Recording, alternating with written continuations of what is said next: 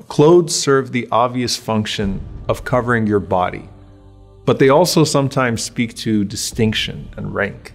And most of the distinctions in this world are pretentious and speak to all sorts of false ideals and constructs of superiority. And that's why there's this saying that expensive clothing is a poor man's attempt to appear prosperous. And then, of course, you have the way that clothes have historically been used to define castes in society. And that's why in Hajj, the ihram is a means of removing distinction and equalizing all people before Allah subhanahu wa ta'ala. So you have all these people in the same place calling out to Allah, but their ranks are ideally supposed to be completely unknown to all but Allah subhanahu wa ta'ala. So on the day of judgment, what are our clothes sewn by? They're sewn by our deeds, and our distinction is made clear solely on the basis of our deeds. And this deeper meaning of clothes in the Quran is in multiple places. So, for example, when Allah subhanahu wa ta'ala says, Libasu taqwa, the cloth of piety, or Wathiyabaka fatahir, purify your garment, which many of the scholars said means your deeds. Or how Allah subhanahu wa ta'ala describes the spouse as a garment to the spouse, and that they conceal and they beautify. So the needles with which you sew your garment in the hereafter are the days and hours passing by in this world. And the garment that you have in the hereafter is the culmination of that lifetime of sewing your garment. And for some, they're going to show up on the day of judgment and find no garment of good for them. And Umm Salama radiallahu ta'ala anha describes this. She says, One night I saw the Prophet and he kept on saying, كم من كاسية في الدنيا عارية يوم القيامة. How many people are well dressed in this life only to be completely naked on the day of resurrection?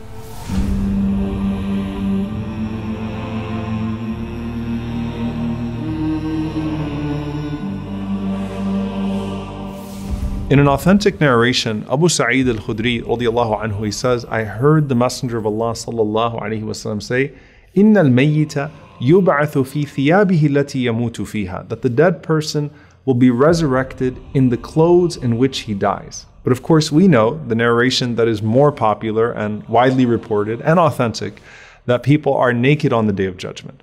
Some scholars said that this is at some point on the day of judgment, meaning you first show up out of your grave with the clothes that you had at death, and then they're taken away. Others said that this refers to the kafan that separates the believers from the disbelievers. And some said this refers to your deeds.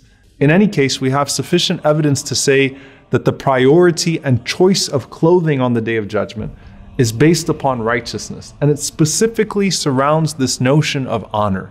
And honor is through two ways through personal piety, and then it's through honoring others, your brothers and sisters. Now, the first person the Prophet told us is going to be dressed on the day of judgment is our father Ibrahim.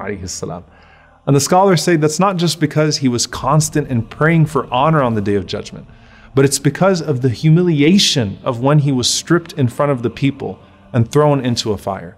So look how Allah subhanahu wa ta'ala makes it up to him he's brought forth in front of all of the people on the day of judgment, just as he was brought forth in front of his people in this life. But this time, he's given this special garment that's reserved for him while everybody else is waiting for their turn.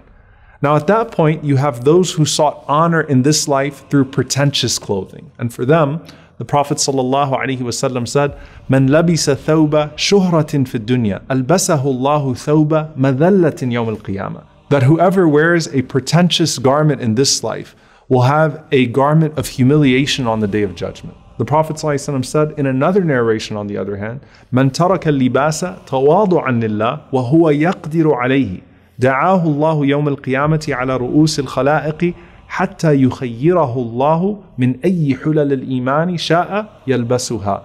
Whoever gives up fine clothes due to humility for the sake of Allah subhanahu wa ta'ala, even though he is able to wear them.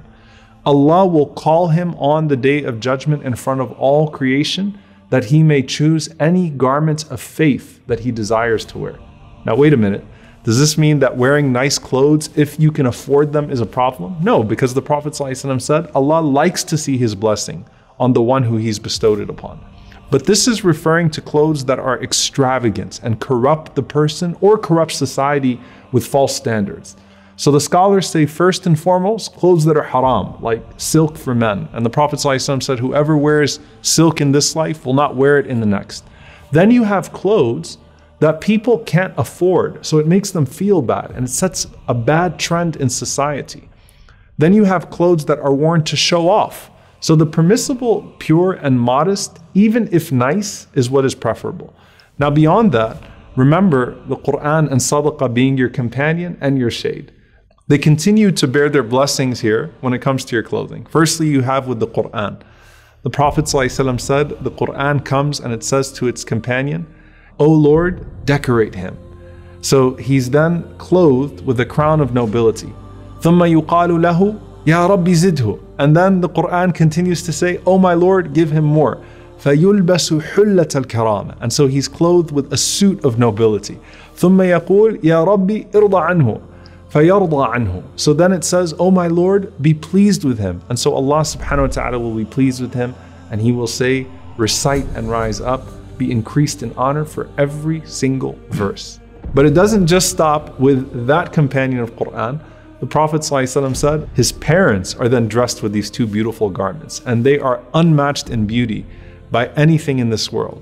So they say, Ya Rab, bima kusina hada, O our Lord, for what reason were we given these garments?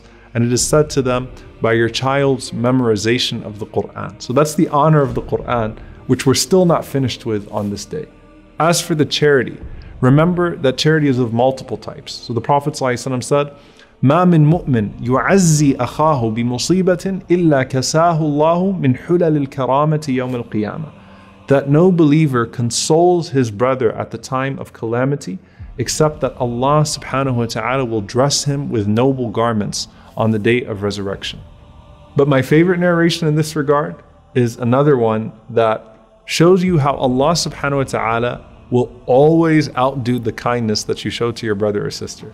And it's a narration from Abu Sa'id radiallahu anhu. He says that the Prophet ﷺ said, وَأَيُّمَا مُؤْمِنٍ كَسَى مُؤْمِنًا عَلَى عُرْيٍ And whenever a believer clothes a naked believer, كَسَاهُ اللَّهُ مِنْ خُضْرِ الْجَنَّةِ Allah will clothe him on the day of judgment from the green garments of paradise. So the clothes of honor on that day are for those who honor themselves with good deeds. And it's also for those specifically who honor their brothers and sisters by clothing them when they are in need.